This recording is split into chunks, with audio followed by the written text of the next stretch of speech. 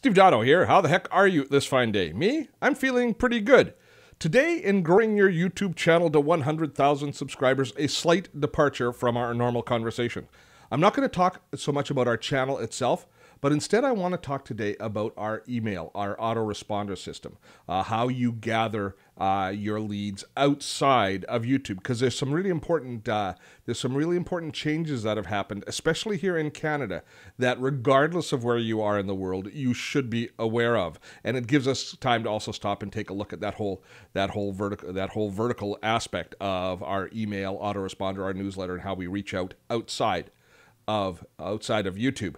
Uh, but before we begin, we have one little change to this vlog, to growing your YouTube channel to 100,000 subscribers. You might have noticed that there was no ad at the beginning, and I am bringing this to you ad free from now on. Actually, it's not so much me bringing it to you ad free as you are bringing it to you ad free because it's through the support of Patreon that we can now strip all advertising out of this particular channel. No more irritating lower ads and no more irritating pre roll ads. Instead, there's just irritating Steve mentioning that if you aren't yet a Patreon supporter of the Dottotech channel, well, by gosh, you probably should take a look and see what Patreon is all about. I'll put the link up right here. You can take a look at your leisure. But basically, Dottotech Tech is brought to you by you, and most especially this vlog is now brought to you by you. So for as little as a dollar a month, you can ensure that Dottotech continues, that I can keep bringing you this great content, and I cannot have to rely on AdSense advertising in order to bring it to you. Bonus. All right, let's dive into today's topic because we are going to be talking a lot about uh, the anti spam laws that have come forward in Canada and are just enacted now. Now, I know that you might be going, oh, that's not interesting to me, Steve, because I don't live in Canada and I don't do that much business with Canadians. So it doesn't matter. It's important because not only is it uh, relevant if you have just one subscriber in Canada to any of your to any of your uh, channels, but increasingly, I think that this idea uh, of how the Canadian government is treating uh, unsolicited email and that sort of stuff is going to is going to be uh, picked up by other by other jurisdictions around the world. So it's it's it's it's worth exploring. Now let's take a step back though. Why are we talking about email autoresponders in a YouTube channel and when we're talking about growing our YouTube channel? Because YouTube is a social media platform like Facebook, and I believe that regardless of how you're building your audience, that one of the goals of your channel should be to take your biggest fans, the people who support you, who enjoy your content, who who who view it on an ongoing basis, and not necessarily move them out of YouTube or Facebook, but make sure that you capture them in another system other than YouTube or Facebook. The reason is Facebook and YouTube basically own your subscriber or own your follower. They have total control over it. If they, for some reason, delete your account, you're gone. If there is an issue and they they uh, uh, they don't want you reaching out to them in the future, or they change the rules about how you engage with them, you then lose the opportunity to engage with those followers or fans. If, however, you migrate them in and get them to opt in in a newsletter or a mail list of your own, then they are an asset of your venture. That's the goal we all need to undertake. So, since I started my YouTube channel, I've been steadily growing a new email newsletter list. Now, I had an existing uh, email list, which is pretty good size, uh, which I continue in a different application. I use a, a, different application, but I started a brand new Aweber list when I started growing my YouTube channel. And so the YouTube channel right now, as of today, we're sitting at 28,000, 29,000 subscribers. And my email list uh, in Aweber of getting people to opt in based on the new channel is sitting at around 4,000. It's growing nicely. Uh, it's been steadily increasing. But I've made sure that every time that I enroll anybody in my Aweber account, that each of those subscribers is doing what's called a double opt-in. In other words, they are entering their their information, their email information and their name in a field in an opt-in box, and then they're having to respond to an email that's sent to confirm that opt-in. And the reason that I'm doing that is I want to make sure that I have 100% permission from everybody that I'm reaching out to on this list because I don't want to get caught in any spam laws. I don't want to be accused of being a spammer, and I certainly don't want my account being deleted or being marginalized because uh, of complaints against me with spam. And regardless of how careful you are, this is the thing that drives a lot of email marketers crazy. Uh, regardless of how careful you are, and I've done that with this list from the beginning. Look, you still get complaints. If I look in my last email that was sent out, I had actually one person complain in a uh, in a newsletter that I sent out saying this is spam and they had to opt in. They had to acknowledge the opt in, and there's an unsubscribe at the bottom of each and every email. Yet they still, the odd person is going to complain. We want to avoid those complaints wherever possible. And why do we want to avoid those complaints? Well, one reason is this: the Canadian, the Canadian government is changing spam laws dramatically, and they are basically protecting Canadian citizens against unwanted email. Uh, and they are levying some incredibly steep fines to any enterprises that don't that don't follow and don't and and try and spam basically Canadians. And the definition of spam in Canada is far more focused than you might be comfortable with. If people have been opting in on your list, like a lot of us in the past, for example, let's take a look. Uh, let me jump into my. I've got uh, there it is, Webinar Jam. I've been using Webinar Jam to enroll people in webinars, in free webinars that I give. We all do this kind of thing. And part of that is they give you email address in order to register for the webinar. A common practice is at the same time as you capture them for that webinar is to link this enrollment to your autoresponder and automatically enroll them as well in your email newsletter. If you do that, the people will not have, they, they might think that they're only enrolling in the webinar and not enrolling in your newsletter. And they might consider that the newsletter that you send them that's following on, adding them to that mail list, is you spamming them. And they always have an option to unsubscribe. I mean, we all do that.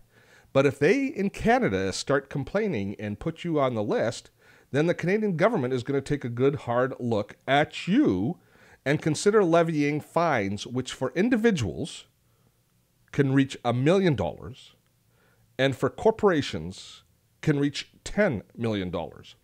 Now, if you think, oh, it doesn't matter, I don't live in Canada, I never visit Canada, there's nothing that they can do, well, think again, because Facebook thinks that.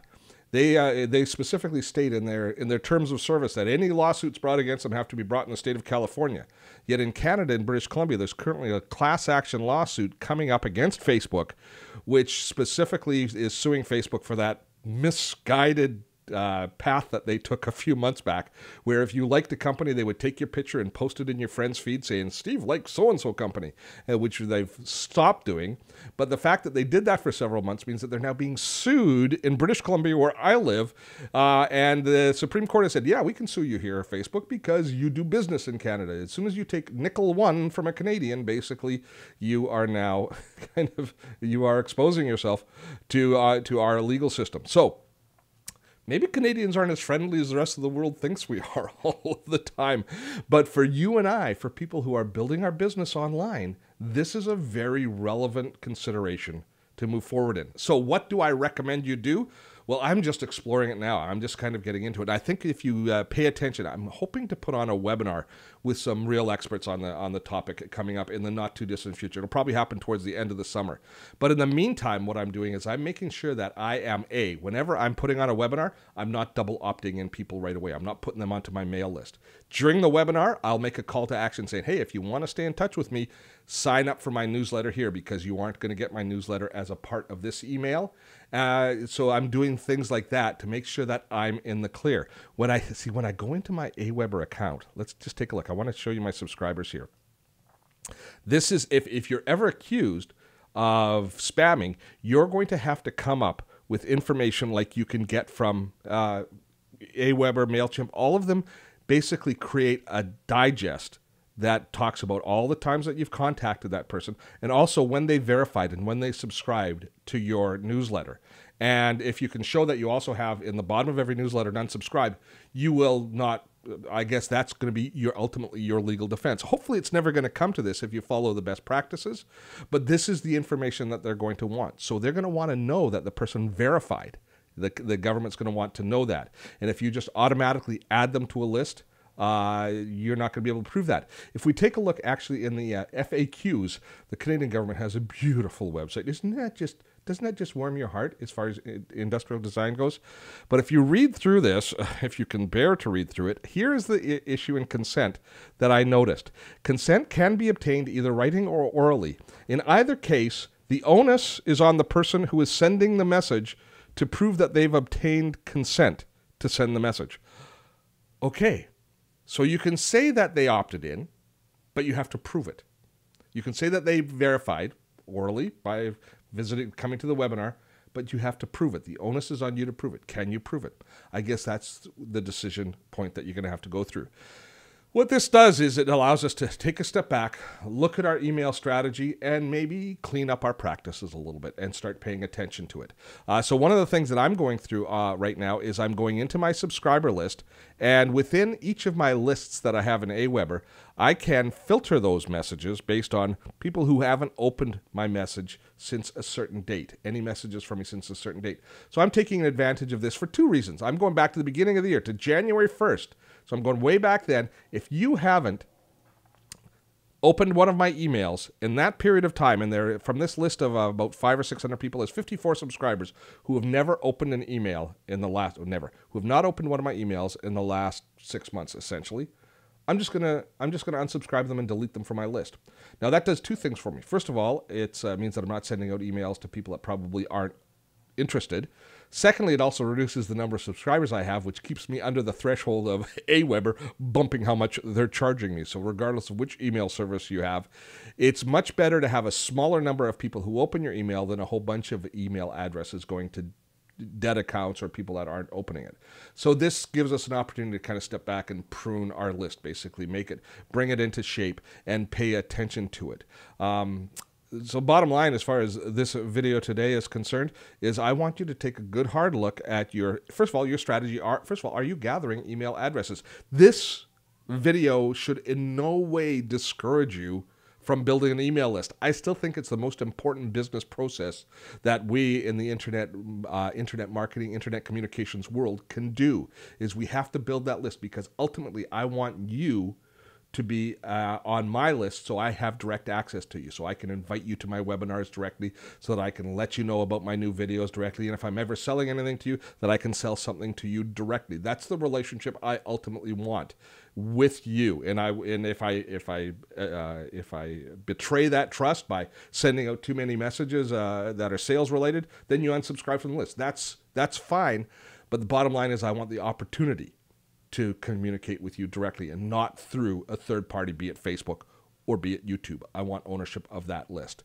So that's number one. Make sure you're doing that, but make sure you're doing it in a legal, above board, conscientious manner and you're paying attention to where those subscribers live. Because now, with the new Canadian anti spam law, all Canadians are going to be looked at slightly differently by the rest of the internet marketing community.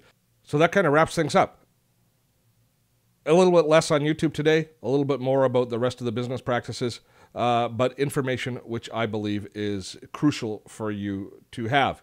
Uh, as a way of a perfect segue. There are three ways that you can stay in touch with us here at Dottotech. You can subscribe to this channel, which I hope you have already done. You can sign up for my newsletter, which is Double Opt In, which I will send out at least once a week to you, where I send you a digest of all of the different videos that we've produced, as well as notification of all of the different webinars and special events that might be coming up, as well as potentially some courses and other things that we might decide to sell to you in the future. And finally, Dottotech is brought to you ad free, at least as far as this particular vlog is concerned, through your generosity at Patreon. If you haven't checked out Patreon to see what it's what's involved in being a supporter of Dottotech, I encourage you to do so. And if you are a Patreon supporter, thank you so much. You are the juice that keeps us going. That didn't sound right.